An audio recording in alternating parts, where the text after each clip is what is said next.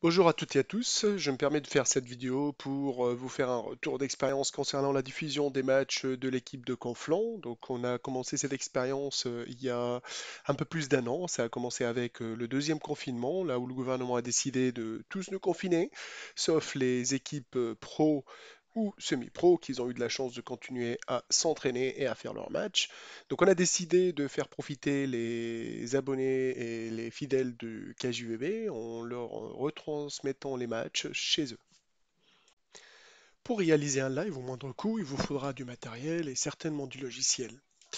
Pour commencer, on va citer les smartphones. Les smartphones, on a fait ce choix pour euh, trois grandes raisons. La première, c'est que on peut faire des diffusions via du Wi-Fi, ce qui est euh, un très grand avantage. Ça évite d'avoir des câbles partout et d'éviter l'encombrement. La deuxième chose, c'est la légèreté. Sachez que des matchs de volleyball, ça peut durer entre 1h30 et 3 heures, donc ça peut être assez pénible pour les volontaires du club. Et puis, troisièmement, c'est la disponibilité. Donc, on n'a pas besoin de faire des gros investissements pour acheter des caméras de moyenne gamme ou de, de haute gamme. Donc, on- tout le monde aujourd'hui commence à avoir des, téléphones euh, euh, qu'on peut même appeler des photophones. Donc, je peux vous montrer ici un petit site qui m'aide énormément à choisir les, les téléphones. Je ne choisis pas le haut de gamme parce que pour moi, c'est pas ce qui m'intéresse. Ce qui m'intéresse, c'est la moyenne gamme avec des bons rapports qualité-prix. Et comme je ne suis pas un fan de la pomme, donc euh, j'étais parti plutôt sur des Xiaomi. On a pris deux Mi 10T Pro qui fonctionnent très très bien. Euh, donc il y a le mon téléphone, il y a le téléphone du coach qu'on utilise aujourd'hui et ça donne une très bonne qualité et ça garde le même bouquet de couleurs comme on est parti sur le même smartphone. Suite euh, au choix du téléphone, donc il faudra parler de la connexion. Ce que je recommande, c'est d'avoir euh, des routeurs euh, Wi-Fi 4G euh, la 4G, elle reste importante si vous n'avez pas la fibre ou la DSL dans le gymnase, donc vous n'avez pas trop le choix. Ce genre de routeur, ils ont euh, une double antenne, ce qui permet d'avoir un bon signal. Ce que je vous conseille, c'est surtout euh, de tester plusieurs fournisseurs, parce qu'on ne sait pas si on est loin des, antennes 4G, si, si Free qui est meilleur que Bouygues, ou Bouygues qui est meilleur qu'Orange, ou Orange qui est meilleur. Donc tout dépend de la configuration de votre gymnase. Et puis, euh, certainement, euh, des endroits du gymnase lui-même, parce que si vous vous mettez sous un mur ou sous un mur de béton, euh, ça peut ne pas laisser passer le signal. Troisièmement, c'est l'ordinateur. Donc, euh, dans tous les cas, euh, il faudra avoir un ordinateur pour orchestrer tous les flux vidéo, audio, les transitions et puis utiliser OBS que je vais présenter tout à l'heure.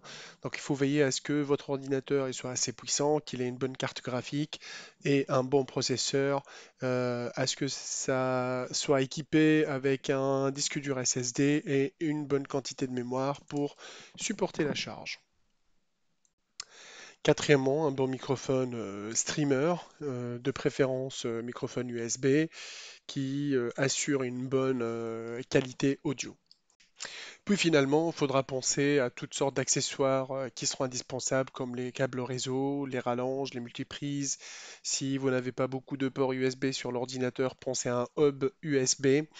Euh, pensez aussi euh, aux différents types de supports pour le téléphone comme celui-là ou bien un trépied qui vous permettra de vous balader un peu dans le gymnase et prendre différents angles de vue.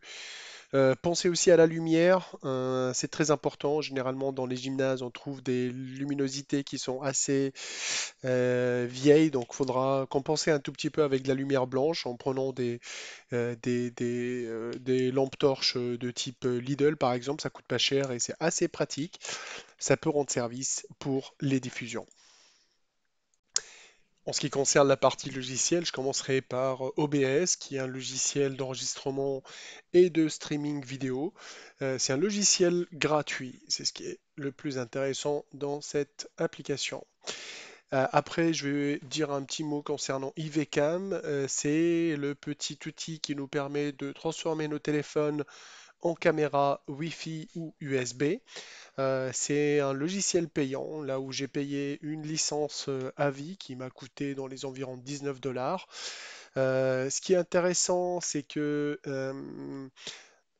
cette application, on peut l'utiliser sur un ordinateur avec plusieurs téléphones.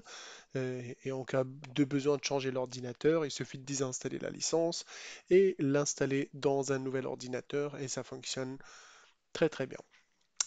Après, vous pouvez utiliser des logiciels d'édition euh, d'images, euh, de vidéos pour euh, préparer vos scènes d'introduction, vos images, vos logos. Pouvez utiliser des logiciels payants tels que Photoshop ou bien partir sur des logiciels open source, même partir sur des logiciels euh, sur Internet. euh, vous, tapez juste logiciel d'édition d'images libre ou gratuit euh, en ligne et ça fonctionne très bien. Après, je vais parler d'un petit outil qui est assez intéressant pour moi. C'est l'outil qui me permet de gérer le score. Ça s'appelle Scoreboard Plus. C'est une petite application Windows qui permet de d'éditer le texte en local sur votre ordinateur. Et puis derrière, on peut jouer sur OBS pour lire ces textes-là. Donc, euh, je vais vous montrer en pratique comment ça fonctionne après. Finalement, euh, pour configurer les ralentis, euh, je vous montre le- l'article ici. Ça parle de euh, Instant Replay sur OBS Studio. Et je vais vous montrer aussi en détail comment ça fonctionne. Avant de partir euh, sur une euh, diffusion avec OBS, je voulais vous montrer la configuration de notre gymnase. Donc c'est un gymnase euh, assez standard. Comme vous voyez, il y a le terrain qui est au milieu. Il y a un paramètre assez important, c'est la zone de jeu. Il faudra la respecter. Pendant les phases de jeu, il faudra ne pas rentrer dans cette zone. Donc il faudra que le caméraman reste en dehors de cette zone, sauf pendant les temps morts ou les intercepts. Là, vous voyez, il y a l'entrée. Euh, au début, on euh, s'est installé euh, juste à côté de l'entrée et ça nous a causé beaucoup de problèmes avec les allers-retours, avec les vibrations sur le matériel. Donc, on a fait le choix de changer la zone d'installation des commentateurs et de l'équipe technique. On a changé plusieurs fois l'endroit là où se trouvaient aussi les équipements réseau jusqu'à trouver un endroit là où il n'y a pas de passage ni d'interférence. Euh, la première caméra, euh, on l'a installée à une hauteur pour avoir une vue plongeante euh, qui est assez intéressante. Et puis une deuxième caméra qui va se déplacer autour du terrain. Et puis un petit conseil, n'hésitez pas à vous rapprocher des joueurs pendant les temps morts. Juste vous signaler au, au coach qu'il n'y a pas le son. N'oubliez pas de couper le son aussi euh, par respect aux, consignes ou bien les, coachs qui vont être fâchés des fois. Euh, et puis voilà, donc euh, c'est la configuration du gymnase. Là, on va passer à la configuration pratique de, des caméras et d'OBS. Bon, on va commencer par IVCam. Donc tout simplement, on va télécharger l'application Windows qui va nous permettre d'installer le driver pour pouvoir connecter euh, nos téléphones et transmettre le flux vidéo à travers cette petite application. Donc c'est une application Windows qu'il faudra, tout simplement l'autoriser à s'installer. On a un petit assistant en français. Hop, il a détecté que j'avais déjà des, des, des qui sont en cours d'exécution, donc il va les, les fermer. Comme un grand, hop. Une fois que c'est fermé, donc il va pouvoir continuer à faire son installation. Et là, on va installer la dernière version de IVCam, la version 7.01,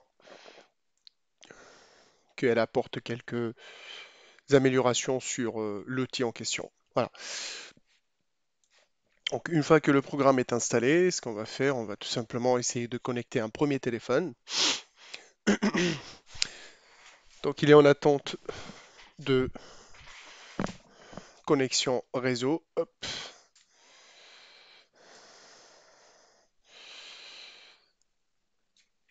Là. On récupère un. Alors, une petite recherche s'impose. Petite remarque, là, il faudra que ça soit le même adressage réseau. Et hop, on a le téléphone qui est bien connecté. Comme vous voyez, donc la qualité, elle est assez intéressante. C'est assez fluide, donc on peut zoomer, on peut faire pas mal de paramétrage. Je vais vous montrer ici quelle sorte de paramétrage on peut faire. Donc on peut automatiser la luminosité, l'ISO, euh, la compensation d'exposition, euh, le paramétrage de blanc, le focus. Et puis ce qui est intéressant, c'est que on peut zoomer, dézoomer via l'ordinateur. Et puis après, euh, tout dépend bien sûr de la luminosité que vous avez. Et puis la, la, la qualité du capteur, comme vous voyez ici, donc je peux aller jusqu'à x5 euh, sans- et la qualité elle reste acceptable. Voilà, voilà. Donc on a notre première caméra qui est installée, donc on peut faire la même chose pour la deuxième. Donc pour l'installation de la deuxième caméra, il faudra tout simplement regarder euh, où est-ce que cette application a été installée.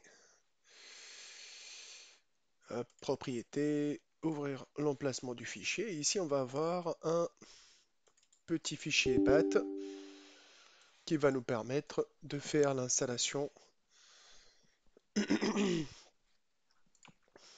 de drivers. Donc on va en avoir la possibilité maintenant d'installer deux caméras. Je peux exécuter une troisième fois si j'ai envie d'installer une troisième caméra.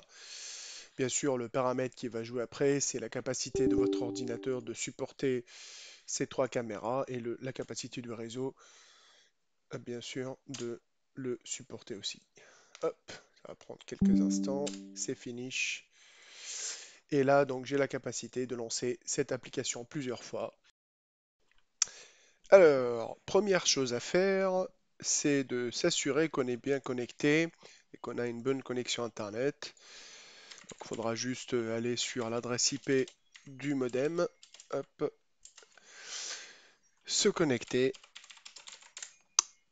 vérifier qu'on ait bien tous les équipements euh, réseau. Donc, ceci dit, euh, pour moi, ça sera mon ordinateur, s'assurer qu'on a Internet et s'assurer qu'il y a les, téléphones qui sont bien branchés. Donc, on voit bien qu'on est connecté à Internet.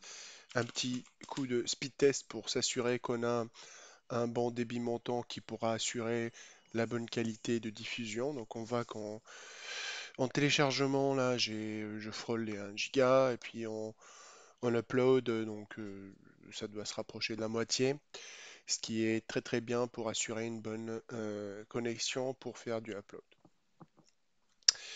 Voilà, donc euh, la next step, ça sera de lancer IVCam. Hop, on va lancer un premier téléphone. On va lancer une deuxième fois, comme on a deux téléphones. Je vais juste revoir l'application.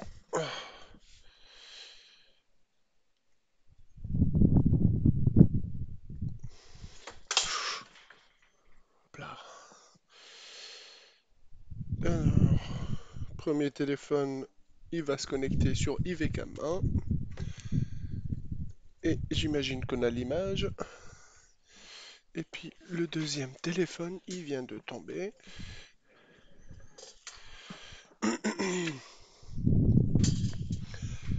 Je vais juste le mettre à côté. On aura presque le même euh, angle de vue. C'est pas ça le plus important. Le jour de la diffusion, vous pouvez vous balader dans le gymnase et, faire en sorte à ce que vous ayez différents angles, de vue. Voilà. Donc on aura toute la rue.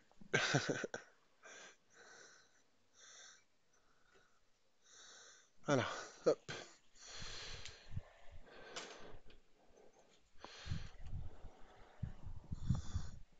On ferme la fenêtre. Et on a nos caméras.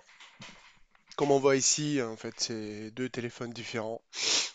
On voit qu'on a deux teintes de couleurs un peu différentes. Donc vous pouvez euh, agir un peu sur les paramètres du téléphone pour essayer de les rapprocher au maximum.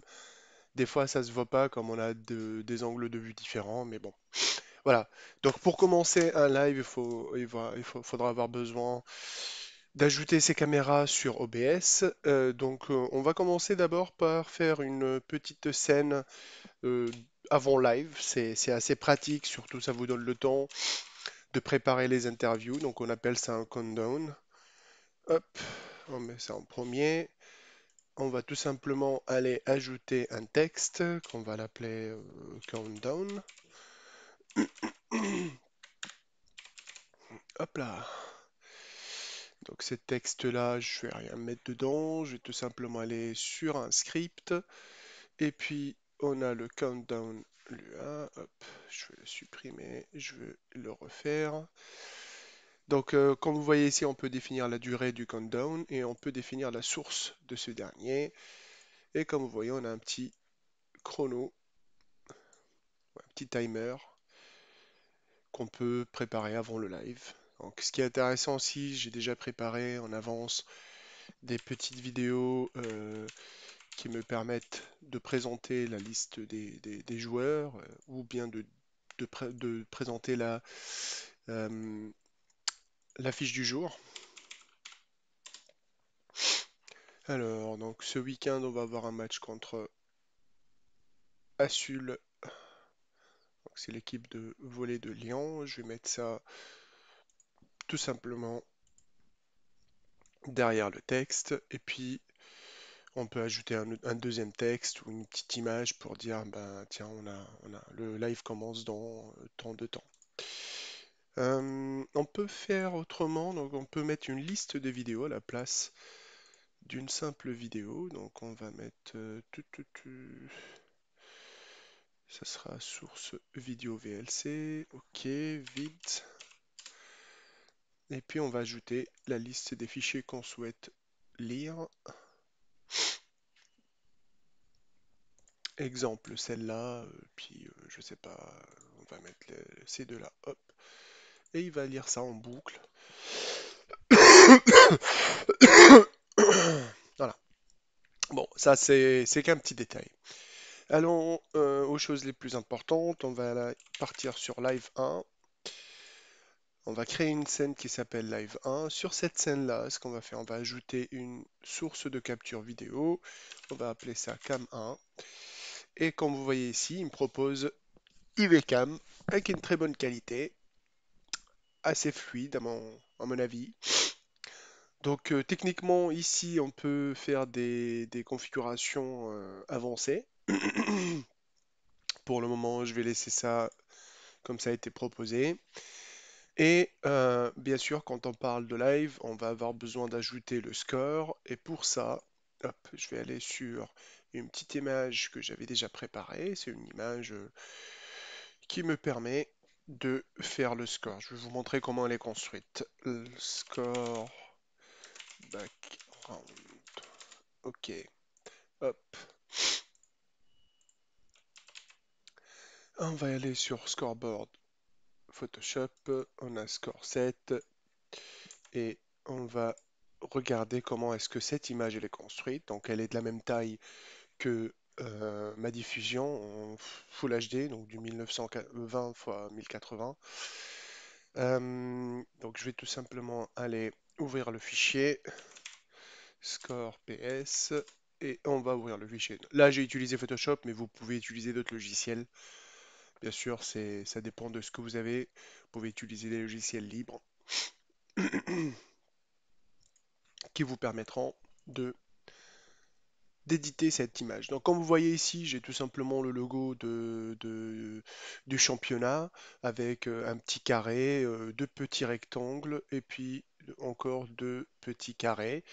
Et là, donc j'ai juste un texte là où je vais mettre le titre de, ou bien le, nom de l'équipe euh, qui accueille, les visiteurs, puis je vais avoir le, les sets. En plus de ça, on a mis quelques petits carrés en plus pour afficher les, scores des sets, ce qui fait qu'il suffit d'enregistrer, faire les changements, enregistrer, oui comme on voit ici, donc on voit le score. Alors, ça, c'est pas suffisant. Ce qu'il faudra faire aussi, c'est qu'il y ait le score de set. Et pour ça, j'ai un petit outil qui est assez intéressant, qui s'appelle Scoreboard Plus. Hop. Il y a du vent, donc on voit la caméra qui bouge. Euh, Ce petit outil, c'est une application Windows qui permet de, d'interagir avec le score et de modifier ça sur des fichiers, comme vous voyez ici. Donc j'ai, plein de fichiers qui sont gérés via l'application Scoreboard. Hop, je vais la lancer et on va réinitialiser le score. Alors, pour ça, je vais ajouter un texte et ce texte-là, score lock up. Et donc ce premier texte, il va euh, être sourcé à partir d'un fichier. Hop, scoreboard plus plus, output, score away home, home score, voilà, hop. Donc euh, on a, on a 0,0, donc c'est normal d'avoir un 0 ici. Hop, je mets le 0, je le centre un peu. Et on ajoute le score des visiteurs.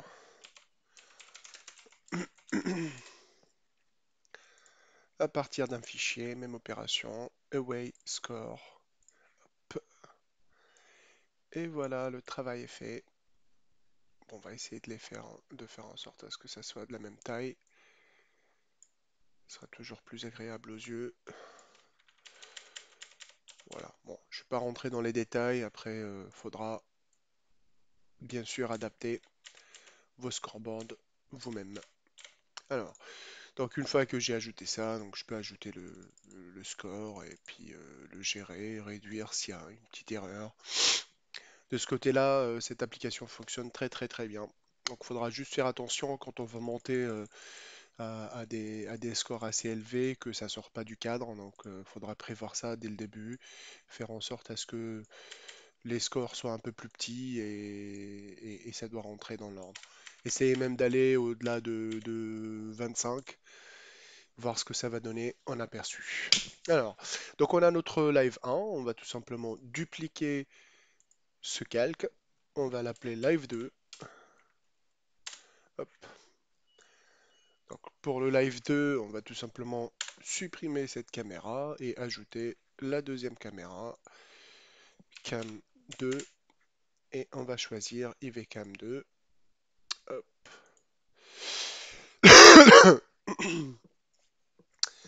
mettre la caméra en arrière-plan et comme vous voyez ici, on peut vraiment basculer entre les différentes caméras. Alors, euh, hmm, qu'est-ce qu'on peut ajouter encore euh, comme, euh, comme scène? Je vais tout simplement basculer sur ce que j'utiliserai ce week-end. Alors, l'avantage avec ce que j'ai préparé, c'est que j'ai ajouté juste une petite image pour dire que le live démarre dans tant de temps. J'ai déjà préparé une petite vidéo d'intro qui va euh, présenter les joueurs. Euh, je peux avoir aussi la deuxième vidéo qui va présenter le match. On voit très bien ici le logo des deux équipes. Euh, ça, ça a été fait avec un autre logiciel Adobe qui s'appelle After Effects. Donc, vous pouvez télécharger des templates, il n'y a rien à inventer.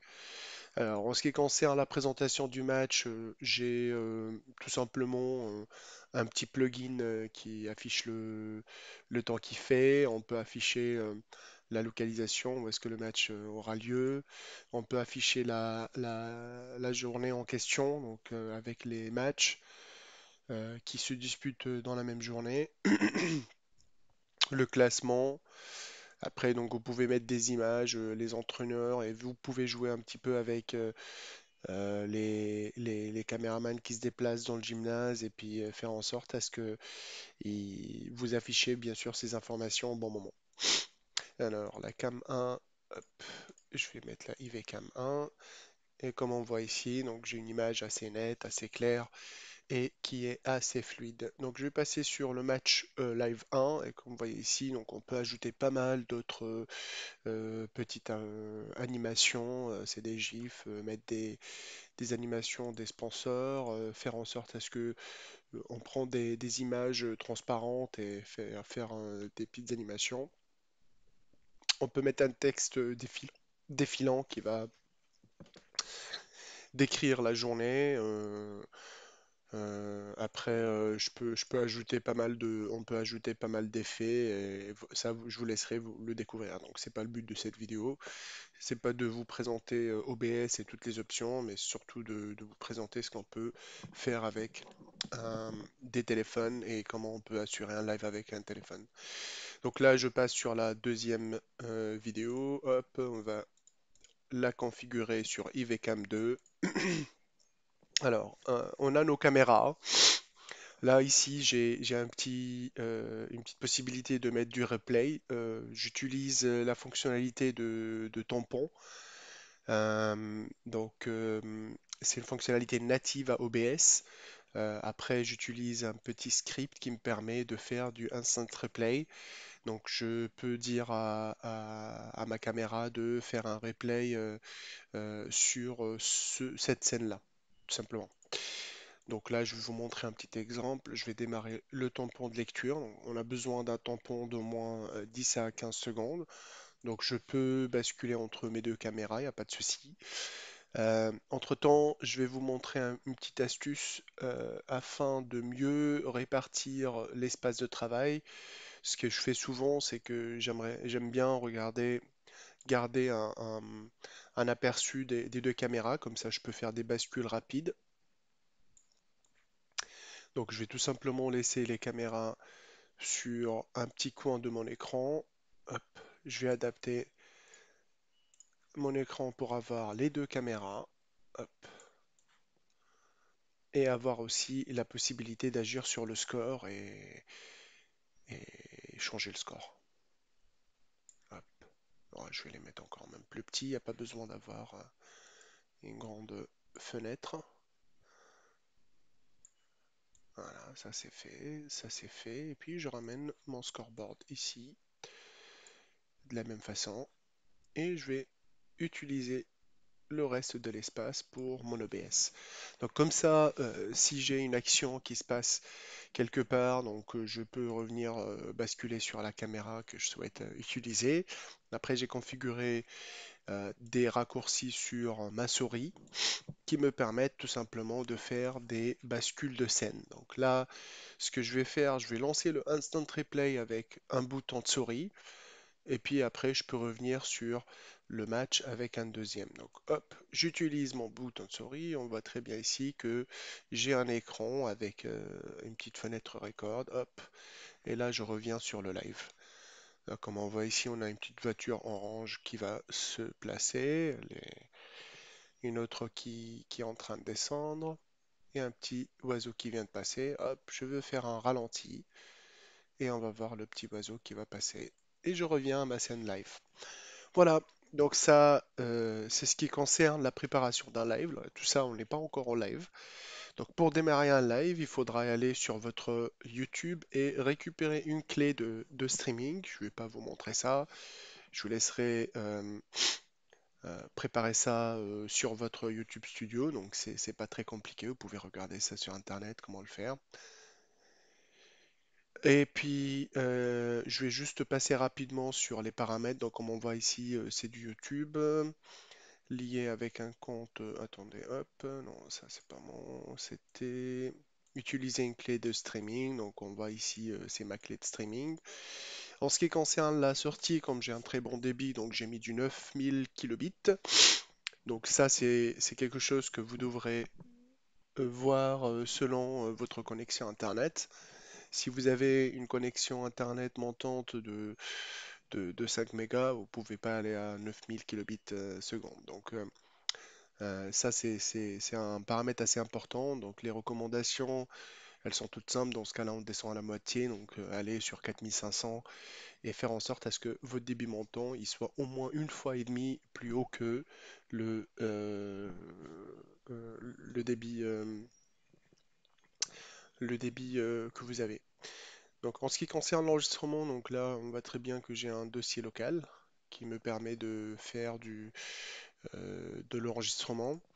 Et puis j'ai ici un délai maximum de 6 secondes, c'est ça mon ralenti aujourd'hui, donc je peux l'augmenter, je peux mettre 10 secondes s'il le faut, et ça me permet d'avoir une vidéo que je peux configurer.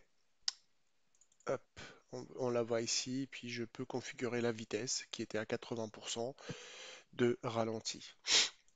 Alors, euh, donc je reviens ici sur les paramètres. Je reviens sur vidéo, comme vous voyez ici, donc c'est du 1920 x 1080.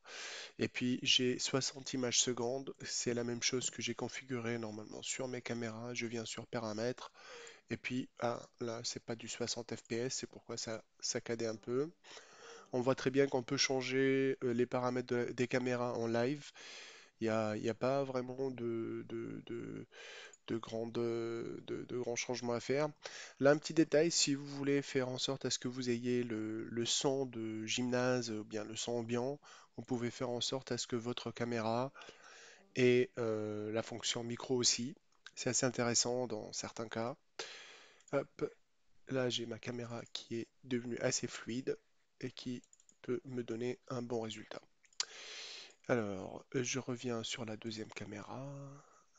Non, c'est pas ça, c'est paramètres.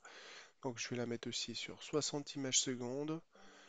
Et pour le micro, bah, toutes les deux, je peux les laisser sur un, seul micro si jamais je veux l'ajouter sur ma vidéo.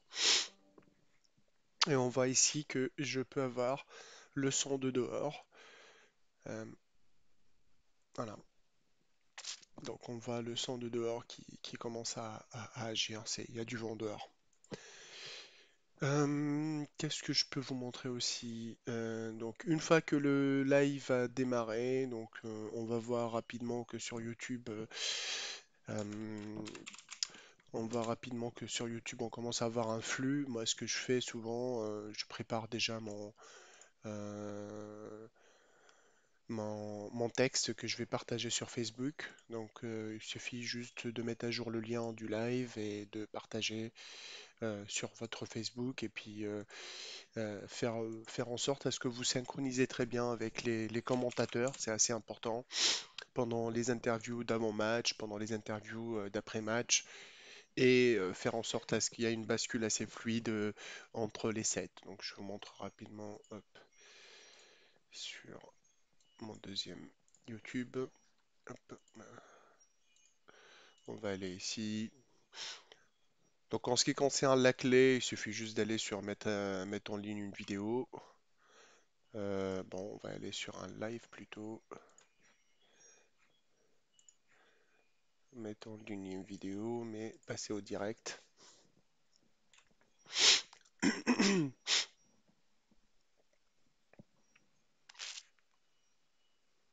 Donc là, je peux modifier ce live en mettant le bon titre de la vidéo, en, mettant aussi euh, les bonnes informations, la bonne affiche. Là, ça sera plutôt Championnat de France Elite Pool A, journée euh, 12. Et ça sera pas Arne, ça sera Assul. Hop, Assul, enregistré. Et comme on voit ici, on a la clé. Et une fois qu'on a lancé le live, donc ça va, ça va, euh, euh, ça va, ça va changer ici. Vous allez voir euh, que, que le live ou le, flux vidéo il commence à arriver. Donc vous pouvez basculer. Je vous montre quelques exemples de, des diffusions qu'on avait déjà faites. Hop, diffusion en direct. Là, par exemple, c'était le match contre Monde. Là, on a eu beaucoup de visionnages. Euh, Je crois qu'on est à près de 2000 visionnages. 1500 plutôt. Donc on voit ici euh, la vidéo. Et on va essayer.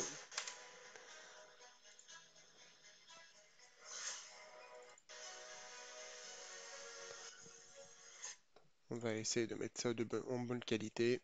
Je vais vous montrer la première partie de d'interview. Donc là vous voyez euh, le lancement du match, de la petite vidéo. Après euh, on, fait un petit signe.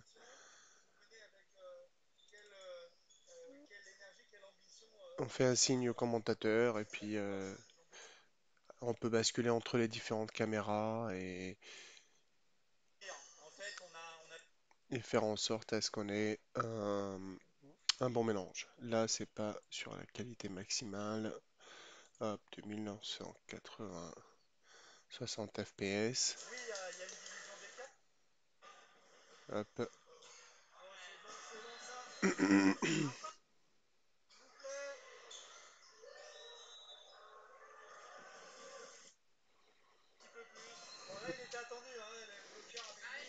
Voilà. Bon, je vais m'arrêter là. Ben, merci pour euh, votre et puis euh, à une prochaine fois. N'hésitez pas à laisser des commentaires si vous avez besoin de plus d'informations. Je vais laisser en commentaire un petit lien Drive dans lequel je vais mettre l'exemple de fichier que j'ai utilisé.